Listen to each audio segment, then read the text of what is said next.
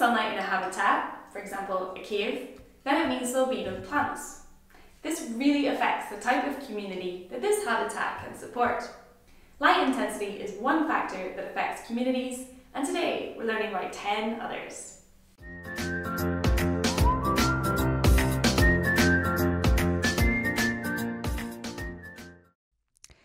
Abiotic factors are the non-living factors which can affect a community. There are lots in this diagram. I want you to take a moment to pause the video and see how many you can spot. Ready? First up is light intensity. Plants require light for photosynthesis, so where it is dark, plant growth is limited, which of course will affect the rest of the community. Next is moisture levels. These are really important for all organisms as all life needs water to survive. The desert is really dry as it doesn't rain very often, so there are much fewer organisms living there. Some insects, like slugs for example, need really moist environments too. Wind intensity and direction can affect the ability of plants to grow and anchor their roots, as well as affecting smaller organisms. Did you spot this one? Carbon dioxide levels affect plants as it's a reactant for photosynthesis. And occasionally, it can affect animals like mosquitoes that detect their prey by high carbon dioxide levels. Maybe you spotted this one too. Oxygen levels affect aquatic animals like fish that use it to respire.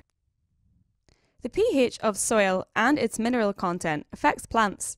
Some plants don't survive in very acidic or alkaline environments, and of course all plants need minerals to survive. Temperature affects many organisms, as most live within a small range of temperatures. This is why climate change is having such a severe and drastic effect on species all around the world. Now we'll look at biotic factors. These are the living factors that affect communities. Why not do the same thing and pause the video and see how many biotic factors you can now spot. Ready? Here we've got a new predator, these can really disrupt a community, and they can even cause extinction. Availability of food is also really important, as without adequate food, populations can starve to death. New pathogens can also devastate populations if they have no immunity to it. And finally, one species outcompeting another can cause numbers to decrease to the point where they are no longer sufficient to breed. You can see this bird has got loads of worms, while this bird has none.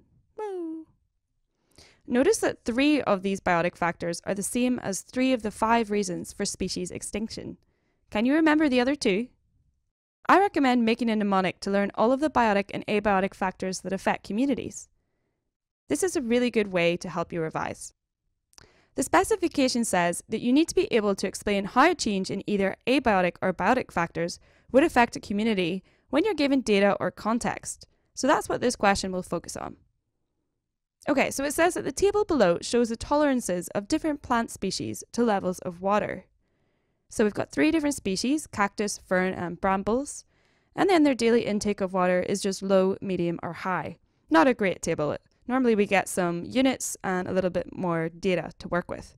But anyway, the question says, describe the potential impact of a flood in the areas where these plants live and explain potential impacts on the wider community. So it's a bit of a two part question. Why don't you pause the video and have a go at answering it before pressing play? It's important to discuss each plant, so we'll group them, starting with the low daily intake of water plants, which is just the cactus, and then the high daily intake of water plants, which is the fern and brambles. Okay, so starting with the cactus. The numbers of cacti would drastically decrease, as they tolerate low levels of water. This could result in reduction of other species population sizes as their food source or shelter, etc., is reduced. Now the fern and brambles. Fern and bramble numbers may increase as they tolerate high levels of water. This could result in an increase in other species population sizes, again because their food source, shelter, or even breeding ground has increased. It's important that you do mention that bit. That's the explanation of why the changes to the plants would affect the wider community. So get those words in your answer. So, how did you do?